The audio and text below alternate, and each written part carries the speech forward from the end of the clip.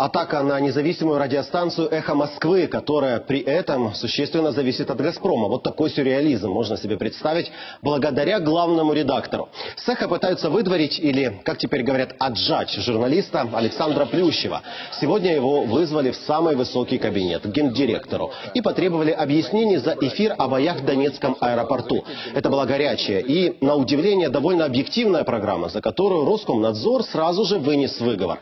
А еще за твит о гибели сына Сергея Иванова. Затем заявили, что он уволен по решению Совета директоров. Все это было сделано в обход главного редактора «Эхо» Алексея Венедиктова. А тот подписывать приказ об увольнении Плющева не собирается. И теперь из «Газпрома» ему самому грозят увольнением.